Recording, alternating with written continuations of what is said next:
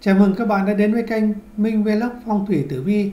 Hôm nay tôi chia sẻ với các bạn một video về nhân tướng học. Xem tướng đàn ông nghèo khổ và có nguy cơ ế dài. Chỉ cần nhìn thấy một vài đặc điểm tương cách dưới đây, quý cô nên cân nhắc kỹ lưỡng trước khi quyết định trao thân gửi phận cho người đàn ông này. Một, Tướng lông mày Đàn ông có tướng lông mày quá ngắn thì cuộc sống nghèo khổ, vất vả mà lại dễ chết yểu Bên cạnh đó, nếu lông mày dính liền nhau là tướng đa dâm lại còn khắc sát anh em. Trường hợp lông mày hình chữ bát, nếu tu nhân tích đức đi theo chính phái thì văn võ song toàn.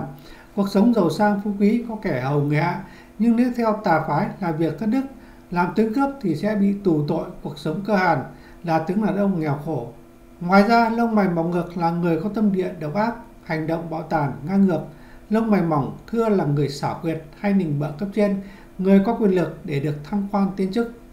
Tuy nhiên, dù gian xảo đến đâu cũng có lúc bị người đời ghét bỏ, khó tránh được cuộc sống đơn độc, nghèo túng. 2. Tướng mắt Nam giới có tướng mắt không cân đối, mắt to mắt nhỏ, lòng trắng nhiều hơn lòng đen, hay còn gọi là mắt tứ bạch, thường không đáng tin cậy, cháo chửa, dễ ném đá dấu tay. Khi tiếp xúc và phát hiện thấy điều này, các quý cô chắc chắn sẽ phải cao chạy xa bay. Nếu có thêm đặc điểm mắt nhìn chớp lia lịa, không dám nhìn thẳng vào người đối diện, thì đó là người thiếu thành thật, có thể nói một đằng làm một đèo. Ngoài ra, tiếng đàn ông nghèo khổ, có mắt nhỏ ti hí như lê dăm thì tính tình keo kiệt, đa nghi, số cực kỳ bận hàn. 3. Tướng dâu tóc Trong nhân tương học, đàn ông tóc dài mà cứng và khô như dâu là khắc sát với vợ con, tóc vàng, quăn như dâu ngô thường có cuộc sống nghèo hèn, còn đối với nữ giới là người dâm đãng.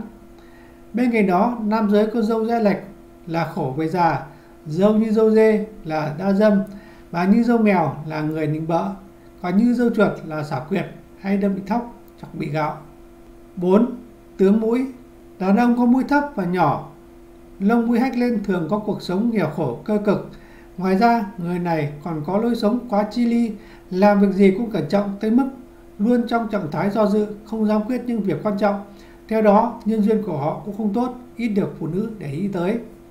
5. Khóe miệng trễ xuống, nhân trung đầy đặn. Chủ nhân của khóe miệng trễ xuống phía dưới đồng thời nhân trung, phần ngấn rãnh giữa môi trên thẳng từ mũi xuống đầy đặn thường là người không đáng tin cậy. Lúc đầu họ ra sức lấy niềm tin của người khác.